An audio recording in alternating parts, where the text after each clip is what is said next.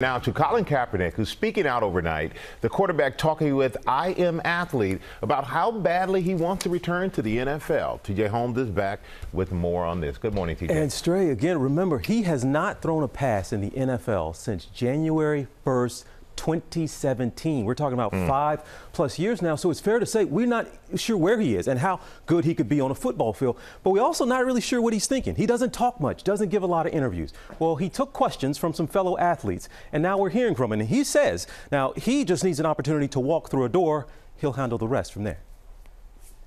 In one of his first interviews in years, Colin Kaepernick says he still hopes to once again be an NFL quarterback. Do you want to play football? Absolutely. I mean, that's without question. This candid session takes place after the free agent quarterback had a training session with former NFL stars Chad Ochocinco and Brandon Marshall. What you saw out here, that's five years of training behind the scenes to make sure I'm ready and stay ready at the highest level. You don't do that if you don't, if you don't have a passion and you don't believe you're going to find find a way on that field. Kaepernick acknowledges that at this point he'd sign as a backup. I know I have to find my way back in. Okay. So yeah, if I have to come in as a backup, that's fine.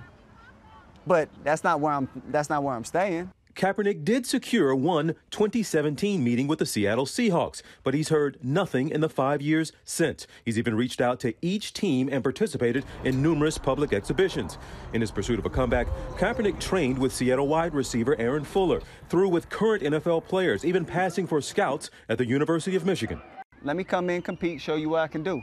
The now 34 year old is asking franchises and their GMs to see him as a no distractions team player. The narrative was out that was out there was oh, you know, it's going to be a media circus. What else comes with him? Kaepernick helped carry San Francisco to the Super Bowl in 2013, but he's gone from player to activist, kneeling as the national debate over police brutality ignited and paid a price for his protest. Fans burned his number seven jersey. Kaepernick hasn't thrown a pass in the NFL since the 2016 season, but he's been busy rolling out a Netflix series, Colin in black and white. He landed a lucrative Nike ad, landed on the USA Today bestseller list as a children's children's book author, and stayed in shape for the possibility of a contract to come. You had those dreams from when you were a kid. I mean, like, I'm gonna be a, I'm gonna be an NFL player, and I'm gonna win a Super Bowl. Yeah. And for me, I have, I have unfinished business on that front.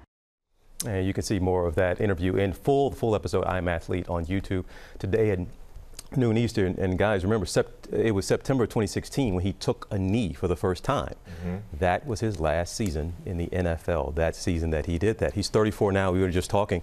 He stays in shape. He hasn't played in a while, but you said this guy could still perform properly. Yeah, if you if you look if he wants to come in as a backup, I think he definitely could win a spot on a team in the NFL. He ought to get the, the politics. Oh, go ahead. No, no, that's all. You think it's the politics, not his ability? Oh, absolutely. absolutely. Oh, no doubt. I think that that's pretty. Okay.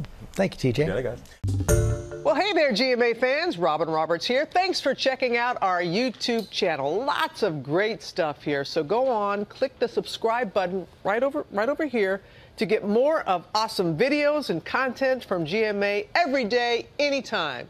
We thank you for watching, and we'll see you in the morning on GMA.